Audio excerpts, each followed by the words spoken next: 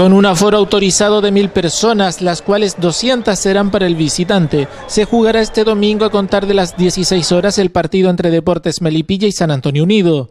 En lo netamente futbolístico, los potros se han preparado para dejar los tres puntos en casa. Nosotros nos encontramos futbolísticamente y emocionalmente muy bien y, esperar las horas para jugar un encuentro tan, tan importante como un clásico. Los clásicos eh, guardando las proporciones a gran nivel y, en la categoría que estamos hoy nosotros, sigue siendo eh, un partido diferente. Un partido diferente donde se va a marcar eh, los trámites quien esté más fuerte mentalmente para poder llevarse un resultado positivo.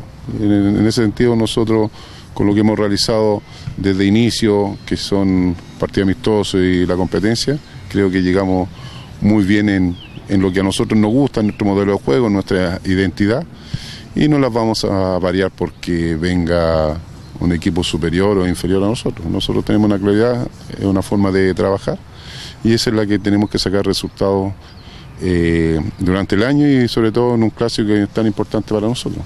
Al estar igualados en puntaje, ¿se podría catalogar este partido como de seis puntos? Esto respondió Nelson Cosio, el técnico melipillano. No, no, para nada. Es un partido más de, campeonato, eh, equivalente a tres puntos, pero sí importante un clásico. Y en el clásico, eh, para toda institución, eh, es importante porque eso significa maximizar un porcentaje de gente en las gradas, que para todo futbolista profesional tener más gente en las gradas siempre ser más motivante, porque eh, es lo que, lo que siempre hemos nosotros mencionado que a través de, tu pasión, de tus resultados, eh, la posibilidad de llenar un estadio. Y yo creo que a todo deportista le gusta participar o competir en, en estadios llenos. Eso es lo que se busca con un, con la campaña y con hoy con el clásico que sabemos que va a traer gente San Antonio.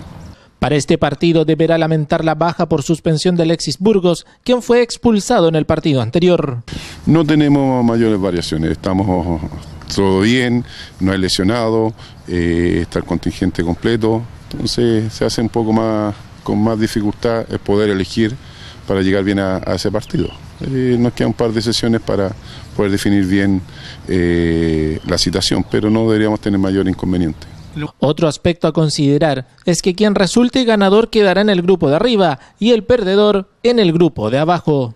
Bueno, hoy está la tabla así, eh, creo que es súper importante que, según nuestro punto de vista, que la tabla esté apretada porque eso es un, acicate que, que te motiva de, de sumar puntos, de, sacar resultados para quedarse dentro de los seis que, son los que van a participar en una liguilla final. Entonces hoy no se ve un escapado como anteriormente, que fue en los campeonatos anteriores. Entonces eso para nosotros eh, es bueno y eso nos motiva cada día más para poder eh, sumar puntos, que hoy es lo, según mi punto de vista, lo más importante para llegar a esa liguilla. Deportes Melipilla está realizando una preventa de entradas en un stand en Vargas con Serrano. Deportes Melipilla estará realizando una preventa de entradas este día sábado en un stand en Vargas con Serrano, en Florería El Tato en la Galería de la Presa, en Punto Aseo en Silva Chávez Esquina Manso y en Arturo Prat 681B. En caso de quedar entradas, se venderán desde las 14 horas en el estadio, solo para el local, mientras que la apertura de puertas sería a las 14 horas y 45 minutos.